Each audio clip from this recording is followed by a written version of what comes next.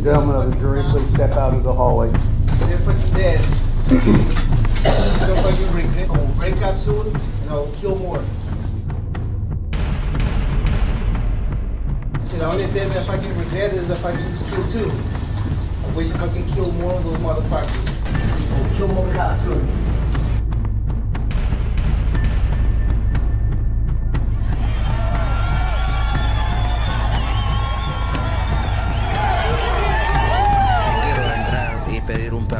He says he wants to apply for pardon for the felony he committed. That.